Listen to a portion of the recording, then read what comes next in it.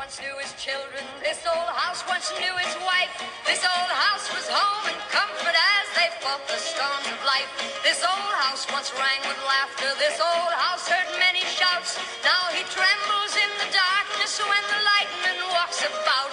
Ain't you gonna need this house no longer? Ain't you gonna need this house no more? Ain't got time to fix the shingles. Ain't got time to fix the floor. Ain't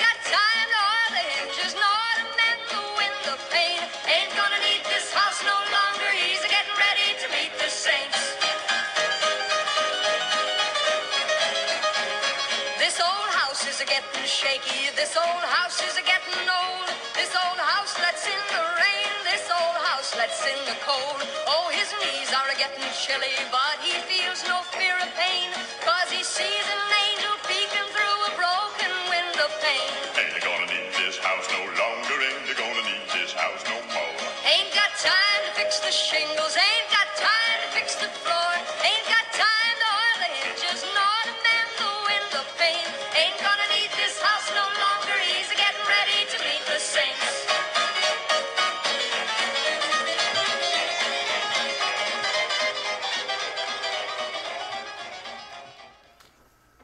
We want to welcome you back to our weekly broadcast here at Messiah Baptist Church.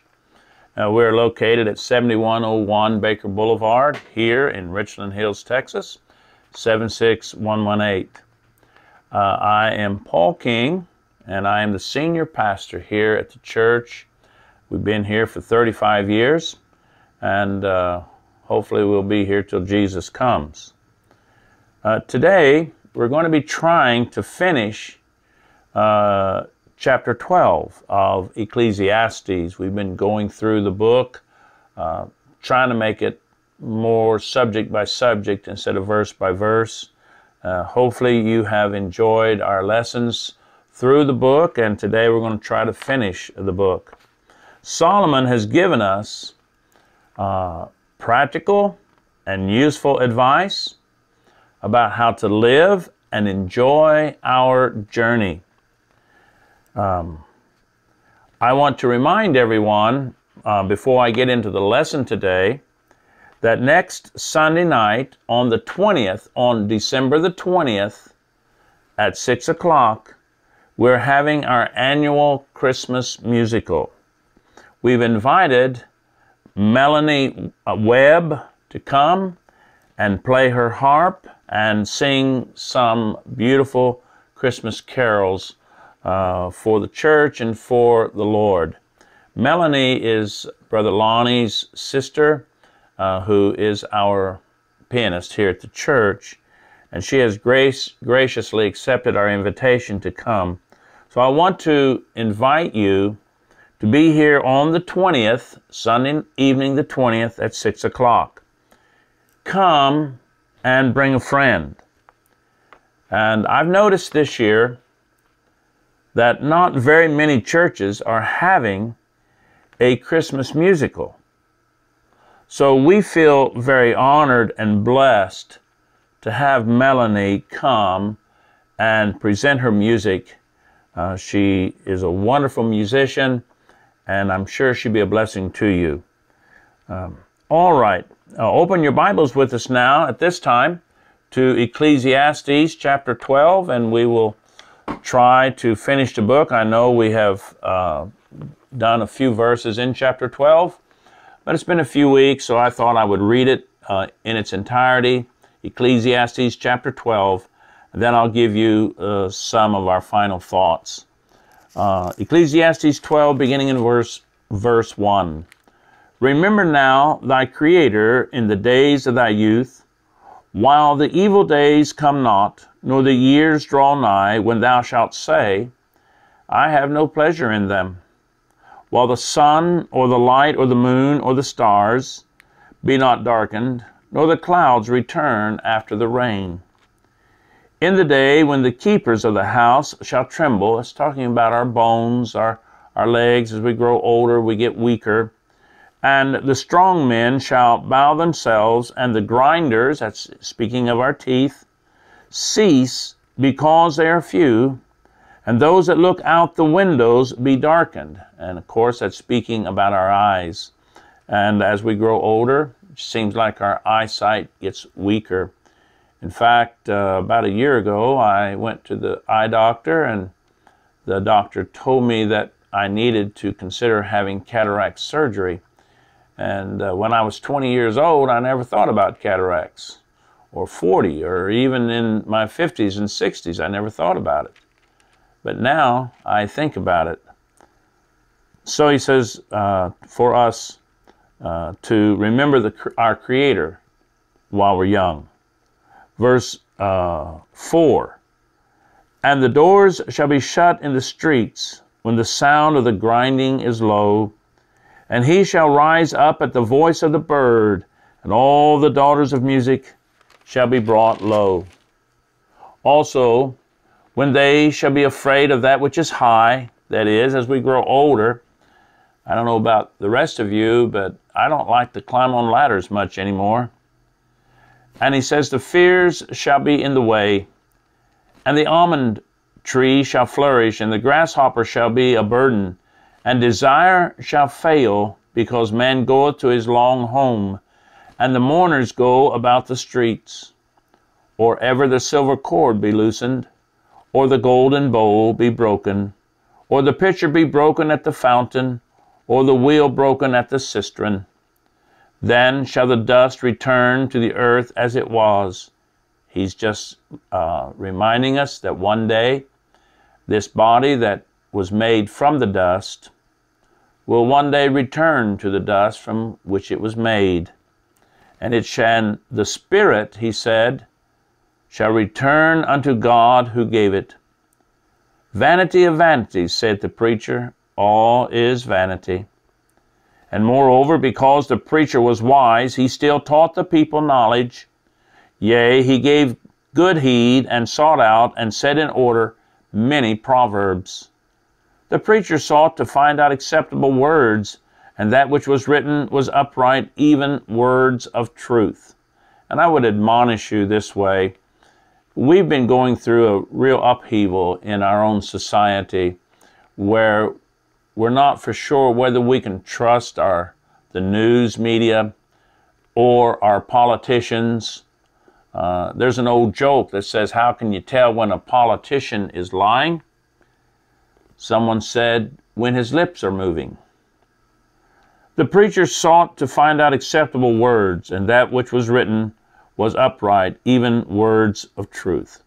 The words of the wise are goads, and as nails fastened by the masters of assemblies, which are given from one shepherd. And further, by these, my son, be admonished. Of making many books, there is no end, and much study is weariness to the flesh. Let us hear the conclusion of the whole matter. Fear God, keep his commandments, for this is the whole duty of man. For God shall bring every work into judgment with every secret thing, whether it be good or whether it be evil.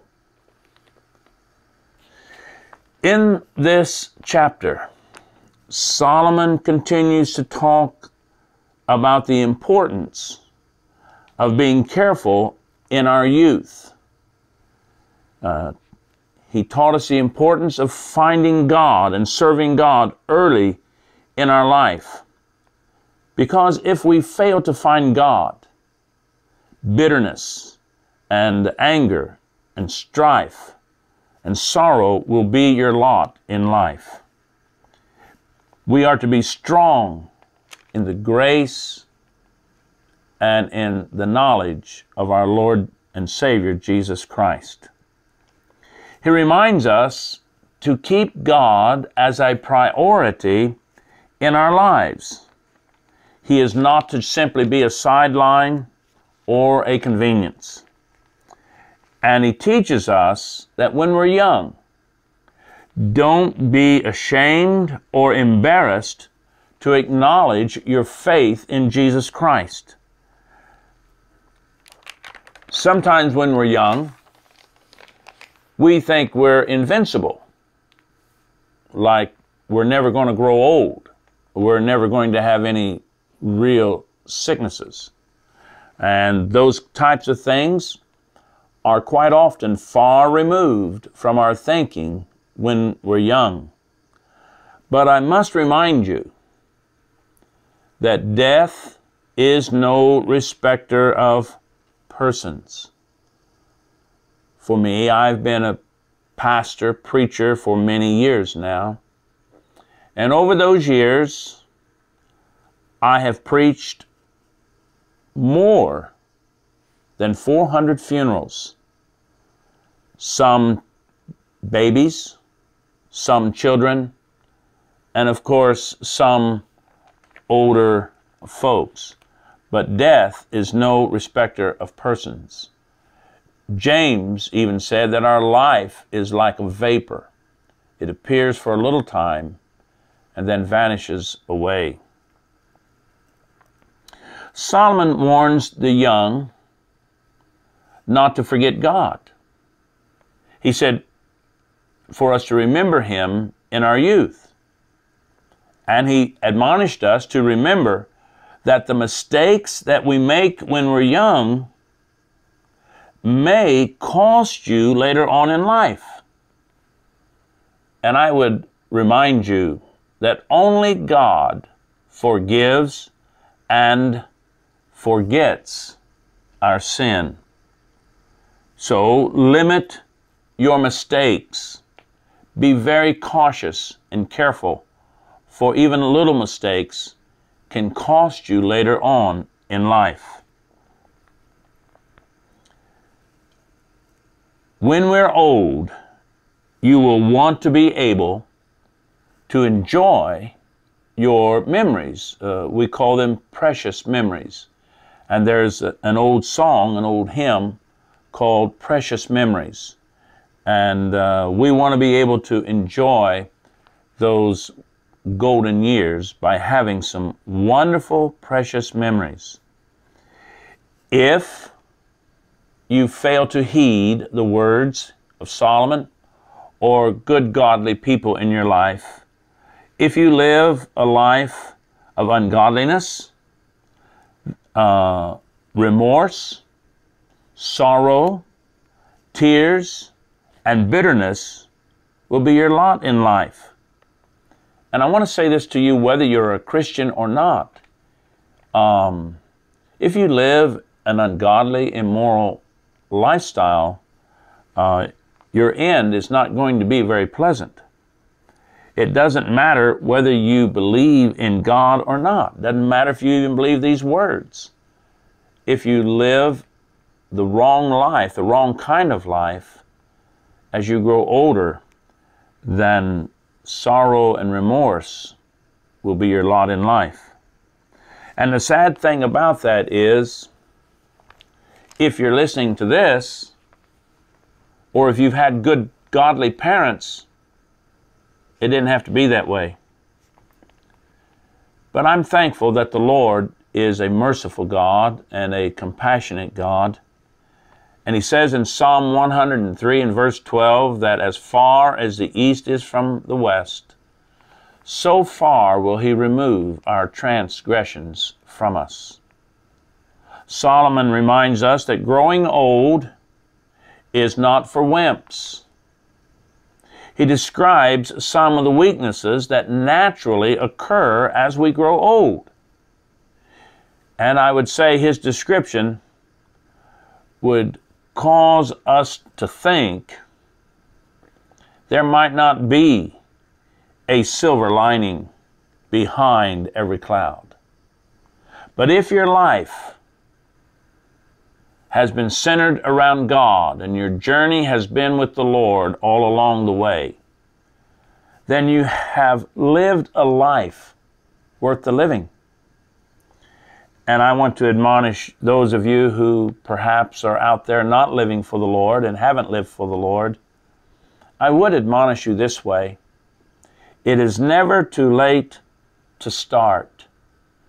And um, this is the Christmas season, and I'm reminded of the story by Charles Dickens of Scrooge. how that he had lived a very selfish, self centered life until he came to uh, the latter years of his life and he was allowed to dream a dream. And through that dream, he is able to change his life. And he's given a, a second chance at life. And he makes the best of it. And I would say to you that are older who have not served the Lord, it's never too late to start. But I would like to admonish all of you, those of you who know the Lord, all Christians, no matter what you're going through. And uh, I know you'll go through all kinds of emotions and, and difficult times. Uh, so uh, it's not uh, sorrow free, the Christian life. But it's a whole lot better than trying to live without the Lord. And I would like to remind you that there is a silver lining behind your clouds. For one day, this old body will lie down for the very last time, and this old body will return to the dust from which it came. But you will awake in a place that has been especially prepared just for you. Jesus said, In my Father's house are many mansions, and if it were not so, I would have told you. I go to prepare a place for you.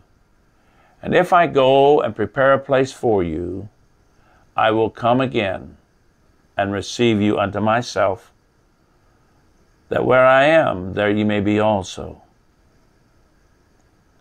You will awake in heaven with a brand new body. And you can read uh, 1 Corinthians chapter 15 and it gives you a very uh, good description of life and death as far as being a Christian is concerned and what happens. And I would remind you that the Bible is the most authoritative book ever written on life and death. And if you want to learn about that, you can go to 1 Corinthians chapter 15 and you'll uh, read a lot about what the Apostle Paul says about that. Um, Paul said that one day we will take off this old body and God will put on a brand new, glorified, eternal body in the heavens. One that will never grow old, one that will never experience sickness or ever be filled with sorrow or pain and so, even now, sometimes, as we grow older, we cannot help but cry out, O death, where is thy sting? O grave, where is thy victory?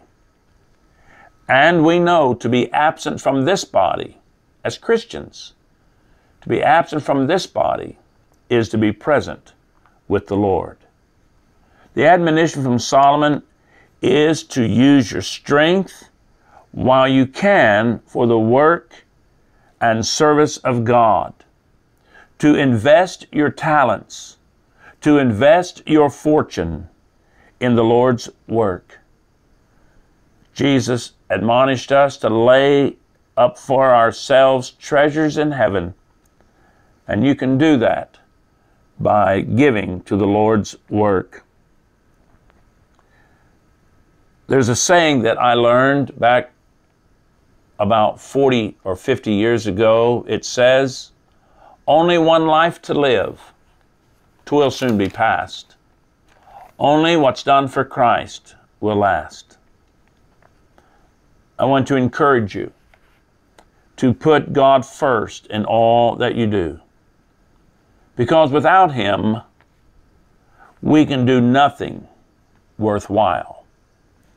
Solomon seems to know a lot about old age, which I found to be interesting because he only lived to be 60 years old. But I would remind you, if you stayed with us through the entire book of Ecclesiastes, you discovered that Solomon lived a hard life, even at times what appeared to be an ungodly life. He used the excuse of trying to find the real purpose and meaning of life. He sought after wisdom and understanding. Like a man would search for hidden treasures, he searched for wisdom. And James said in the New Testament, If any of you lack wisdom, you can ask of God, and he will give it to you liberally. To Solomon, these things had great value.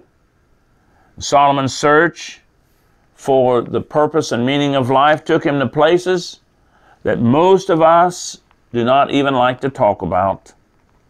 And while he did some things that we could never recommend to you as a child of God, uh, God still used them to teach us about the real values in life. Here's some examples. In life, we all make mistakes, but only some people will learn from their mistakes. And I'll tell you, if you fail to learn or recognize your own mistakes, you are bound to make them again. And another thought I, I think is worth mentioning here sometimes we want to blame others for our lot in life. But I would admonish you to look in the mirror and don't blame anyone else. At least uh, acknowledge uh, your fault in whatever you may have gone through. The book of Ecclesiastes is a book that is inspired by God. And we can learn about life and different philosophies by watching and listening to others. That is, we don't have to live them ourselves. Through this book, the book of Ecclesiastes, we should have gained wisdom and some insight and good judgment, and I would also add some common sense, which will help us to live godly in an ungodly world. Life on earth is short. So learn the truth by reading, studying, believing, and having faith in God's Word. It is the most comprehensive book ever written on life and death. What you do with the truth, what you do with the truth, will determine what your life will be like now and forever. The truth is like an ox goad. It may prick your heart at first, or it may hurt a little bit, but if it spurs you on to do a greater work for God, it will be worth it all. As a pastor, as a parent or as a friend, there are times that we must speak the truth, even when we know it will hurt. So remember, and I admonish you uh, very strongly with this remember to speak the truth in love. When we see Solomon's search for the meaning of life, uh, that God, who gives life, is the only one who can actually give life its meaning. We should have learned through this study that the world is full of evil and foolishness and injustice. That life apart from faith in God is futile the last warning or conclusion of Solomon is to remember God's commandments, to do them. The two commandments in the New Testament that Jesus gives are the two that all others hang on. And here they are Thou shalt love the Lord thy God with all thy heart, with all thy soul, with all thy strength, and with all thy mind, and to love thy neighbor as thyself. Solomon has shown us a life and a lifestyle that searched diligently I mean, he searched diligently for joy and pleasure. But he discovered that God gives them away freely to all who will come to him by faith in Jesus Christ alone. Finally, the only life worth living is the life that is surrendered to God's will. Life is a gift from God. There is a great void in the heart of all mankind. And we all long to fill that void. And I will simply say this only by receiving Christ into your heart can that God void be filled. And when that occurs, God Himself will give you meaning and purpose. And the Holy Spirit will come into your heart and life and help you and guide you and direct your life. Let me admonish you to search diligently for God. For Jesus promised, Seek and you shall find. Make knowing God a real priority in your life. For one day, hallelujah to this, one day you will see Him face to face. Every knee will bow and every tongue will confess that Jesus Christ is Lord to the glory of God our Father. May God truly bless you and your family in the days ahead. And remember this you were lost when Jesus found you. Now, the next couple weeks, we're going to be changing course a little bit. We're finishing that chap that book of Ecclesiastes, and we're going to speak on some uh, lessons about Christmas. So I hope you will join us over the next couple weeks as we talk about the Christmas story. We want to be a blessing to you. We want to give you some insight to understanding maybe uh, why Jesus came the way he did as a babe in a manger. And last of all, I want to say, God bless you. I hope that you have learned some things from Solomon that have helped you and instructed you. Be safe and put on the whole armor of God. God bless you.